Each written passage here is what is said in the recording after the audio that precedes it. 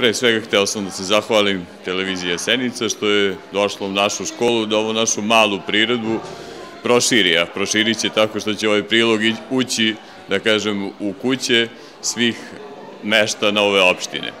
Naravno, kao što znamo, povod ove priredbe je proslava Božića.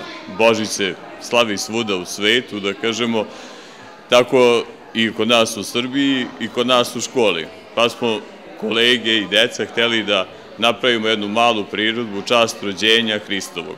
Kao što kaže Sveti Jovan Zlatosti, to je majka svih praznika, jer od rođenja Hristovog se računaju vreme, godine, u crkvi, da nije bilo rođenja Hristovo, ne bi bilo ni svih ostalih praznika, ne bi bilo ni proslave naših krstnih slava, ni svetitelja. Dakle, u čast Božića smo spremili ovu malu priredbu u našoj školi. Božić i praznici vezani za njega najsvečanije se proslavljaju i obiluju lepim običajima. Praznuje se kao uspomena na dan rođenja gospoda Isusa Hrista. Činjenica da je, pra, da je to praznik rođenja novog života, dece i detinstva, roditeljstva, ukrasila ovaj praznik najlepšim verskim običajima i obredima. Najlepši pozdrav badnjom danu. Svaki domaćin još u svanuće učini kada hrastovu granu donese ispred svoje kuće.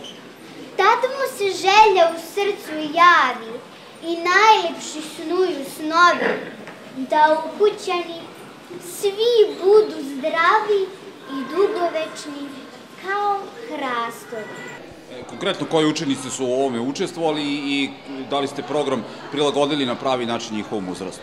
E, trudili smo se da, kao što kažem, ovoj našoj skromnoj priredbi što više bude učesnika. Tako da imamo i male dece, imamo i ovih od petog do osmog, svi su se zajedno trudili kako učitelji, tako i svaki profesor se trudio u, u svom domenu, u svom predmetu.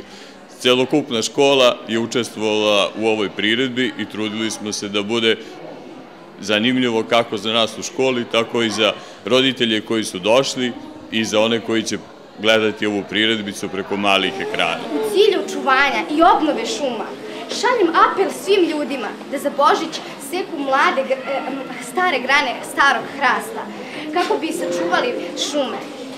Sa, tako će svi imati svoj badnjak, a drveće i hrastovi će preživeti.